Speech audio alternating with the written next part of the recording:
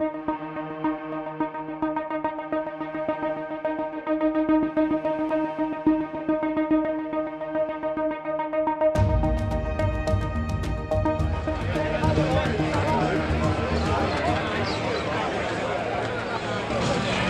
and welcome to my Ultralife. I'm in Orange, New South Wales, Australia, and I'm here to do the New Crest Orange Challenge, 170k or 100 mile bike ride. And even though I've been training for the 6600 challenge in September, and I did the Palm Springs ride pretty successfully last month, this one's going to be a big challenge. Lots of rolling hills and uh, some steep hills and it's supposed to get up to be 35 degrees Celsius or 100 degrees this afternoon. And uh, so the Orange Challenge is going to be a big challenge for me today. And uh, but I, have been training. I think I'm ready. Uh, we just have to slug it out. So here we go, the Orange Crest Challenge.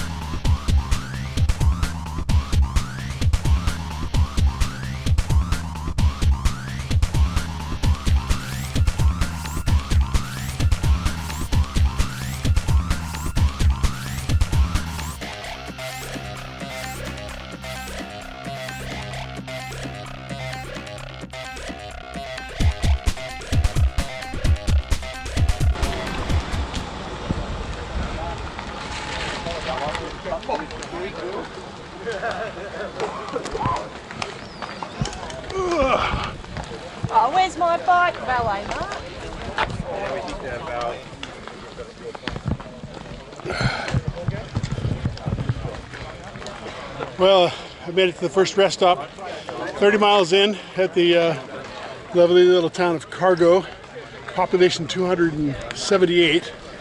And uh, uh, the first 30 miles was a bit challenging, some challenging uh, hills and uh, some wonderful downhills, some great steep parts. This last part here, it looked flat, but everybody's going so slow, so it must have been uphill. I couldn't tell. It's like a flat uphill. Like, yeah, it's weird.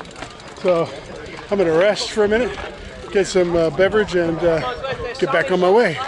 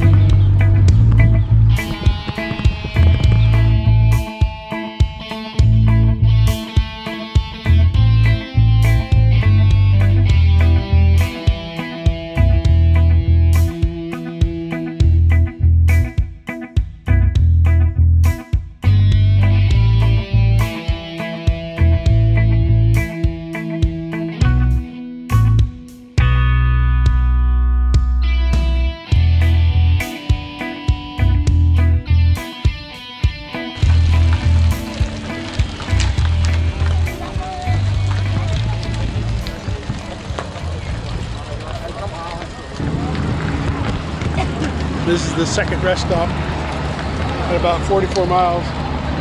And the finish for one of the races, I'm not sure what distance that was, but uh, this is the supper rest stop where they uh, feed you a lunch.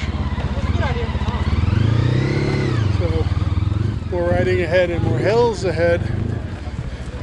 And I think I'll get myself a little snack.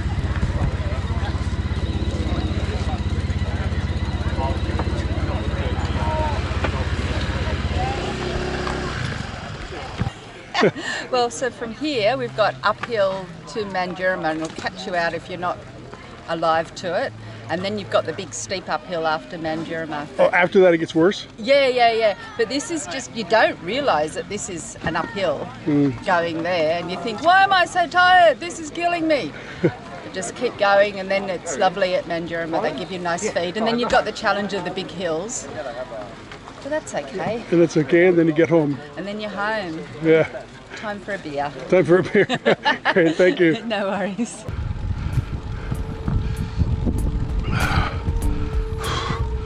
This is the long, steady climb they talked about. Keeps going and going and going.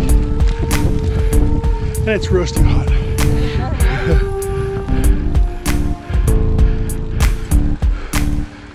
Hanging in there, eh?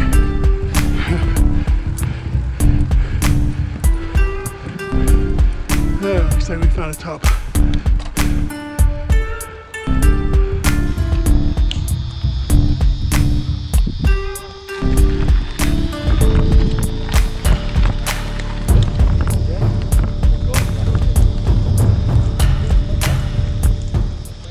That one hill, Yeah, I know, it was a bugger. You Yeah. can see, you can see it coming and I'm going to go up that. Oh. uh, I stopped and rested part way.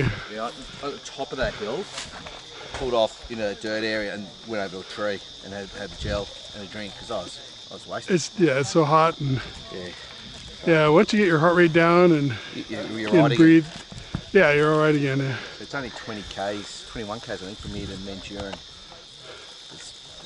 It's, it's, it's a bit like that. It's a bit tough. Yeah. What the next leg? Oh, A bit more of the same. more to look forward to.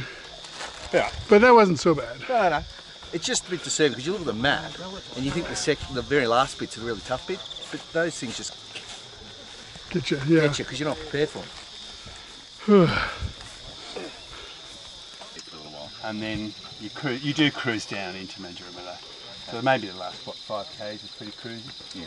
But you've got to get there first. But it's lumpy and bumpy and Just do exactly the same thing.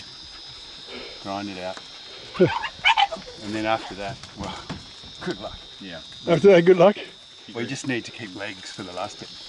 Yeah, so the the last bit biggest. from Mandurama, go probably I don't know 25 k's up out on Forest Reefs where the pub is. Then it's home flat for about 20 k's. So you really got to. Did I hear you work pub? It out. Sorry. Did I hear pub? Yeah, Forest Reefs pub.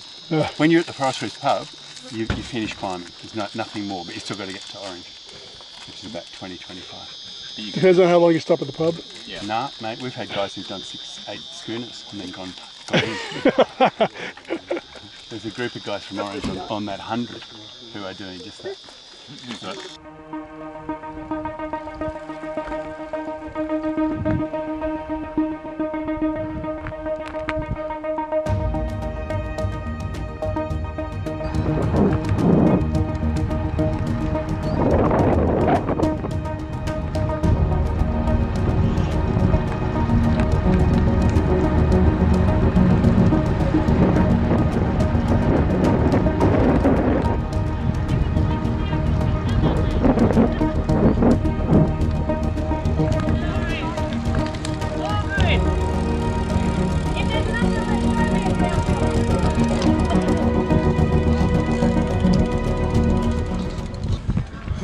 Made it to Mandurama, and this is the lunch rest stop. We're about 72 miles along the route. Hot and exhausted, but uh, Welcome to. Hopefully.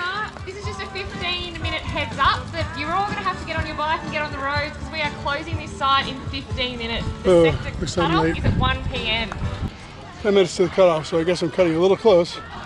Don't want to get bust home, so I guess I better get on the road here. About 30 miles to go, and some big hills still to go.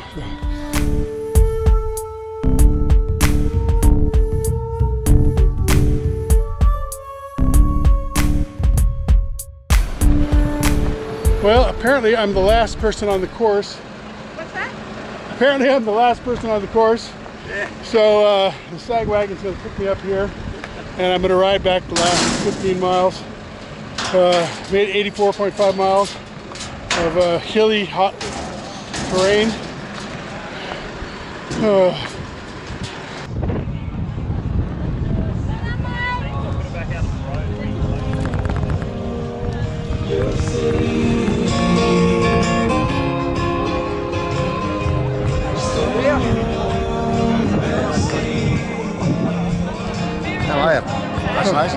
thank you. The Sausage sandwich and a beer. And a bit of Gatorade. Oh, thank you. Thank you. Well, I made it 84, 85.4 miles out of 105. But uh, first time I've never finished something, so I'm a little embarrassed. But uh, I wasn't alone. There were lots of people getting picked up in the uh, sag wagons.